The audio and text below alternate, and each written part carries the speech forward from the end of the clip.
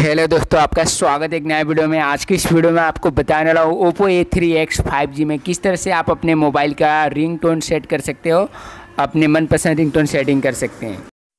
Ringtone set करने के लिए आपको आना होगा साउंड का ऑप्शन में। रहा साउंड का ऑप्शन साउंड के ऑप्शन में आने के बाद आपको यहाँ पर मिलेगा रिंगटोन लिखा हुआ।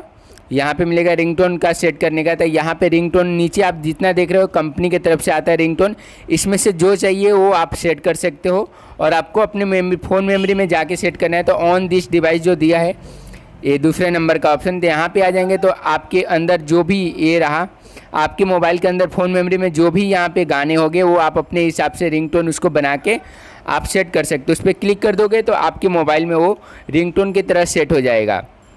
और दूसरा आता है नोटिफिकेशन का, इसमें साउंड आता है तो आप अपने हिसाब से सेट कर सकते हो। तो चलिए आपको वो भी बता देता हूँ कहाँ से आपको नोटिफिकेशन जो भी आपके मोबाइल में आता है व्हाट्सअप से आया है, कहीं से तो यहाँ पे ये सब साउंड दिया है।